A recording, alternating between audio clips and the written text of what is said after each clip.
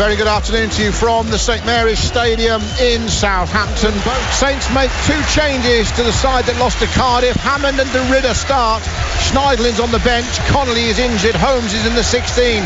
And Watford, unbeaten away from home, make one change from the team that beat Millwall in midweek. Former Pompey defender Carl Dickinson drops out and David Murphy comes in for him at left back. The players shaking hands. The referee Carl Boyeson awaits the start of the game. Fox goes ahead of Guly who's pulled wide out to the left. Skips past the first challenge of Yates. Then he comes inside Mariappa. Looks for a 1-2 with Lallana. Gets it back in the penalty area in the six-yard box and then rather clumsily between him and Murphy they just sort of clashed with each other and the ball ran through easily in the Watford goal for Rene Gilmartin, who we've hardly mentioned. That's how well Watford have started, nil-nil.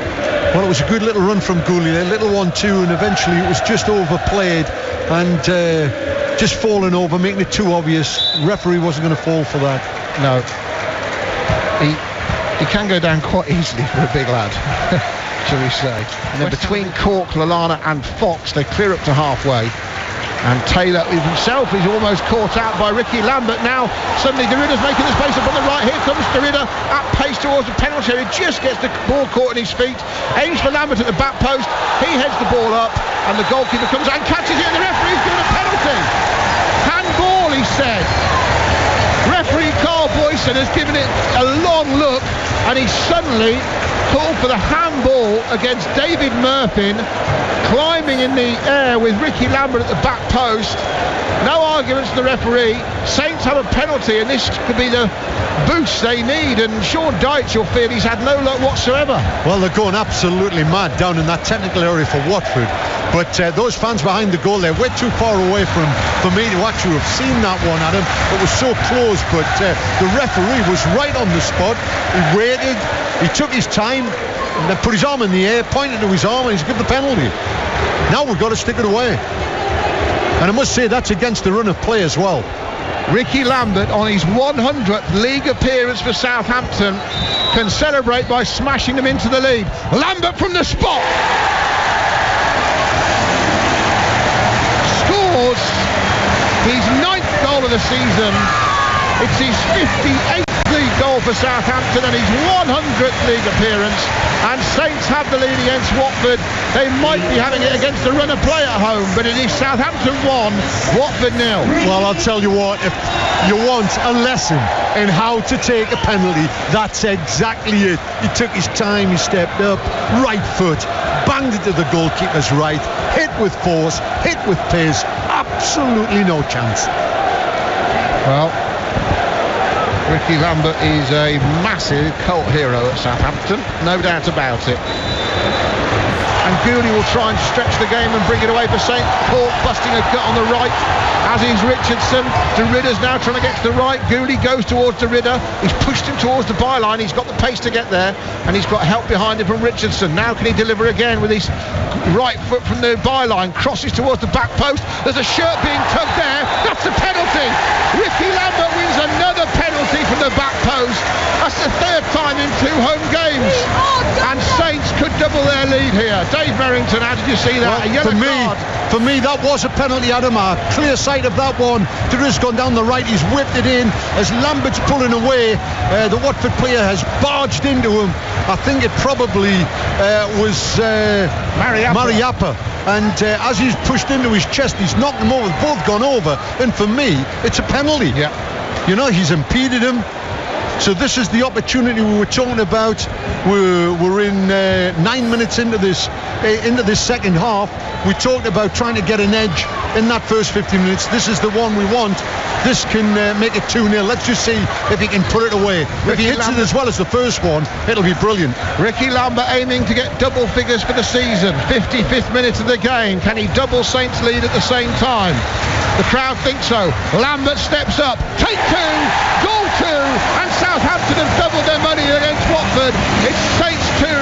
Watford nil. 10 minutes into the second half. And Rickie Lambert has 10 goals for the season as we head into the second international break. Well, if, if you want a guy uh, to be in your team when you get a penalty. It's Rickie Lambert. He's lethal on that right side. The last person I saw strike a ball as well as that, you know, was Alan Shearer. And uh, the one before him, who stands out for me, was a, an old player called Frank Puskas, Hungarian. What a left foot he had.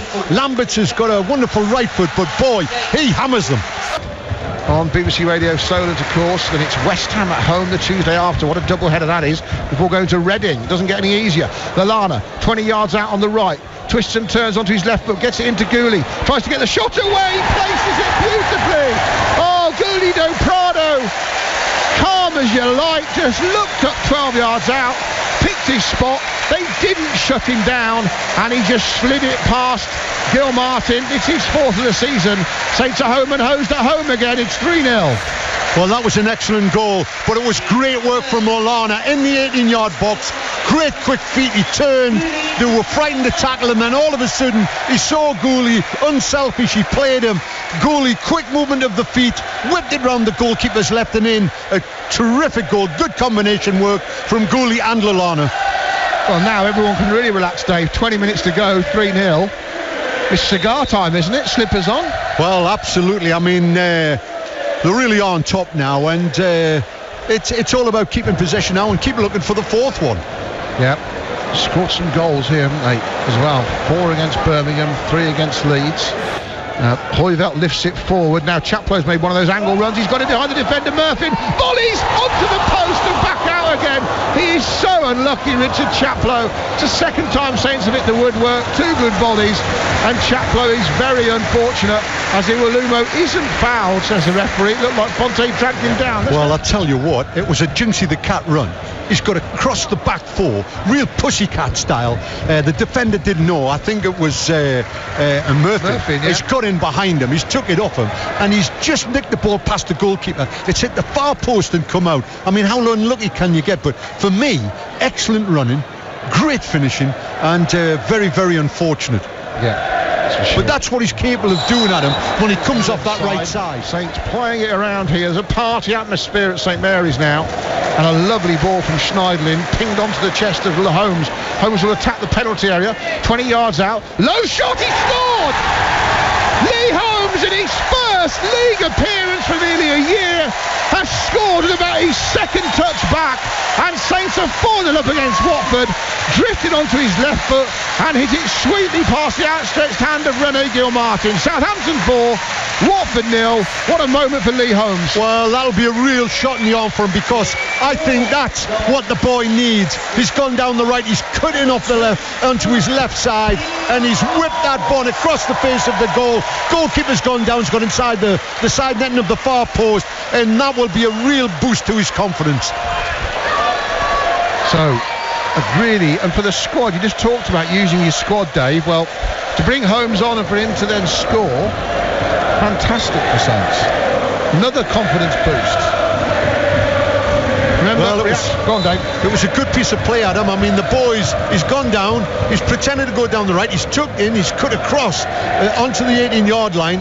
The opportunity arose. He saw the whites of the sticks, and he's just hit it. Yeah, and it's a good goal. Stuff. It was good stuff.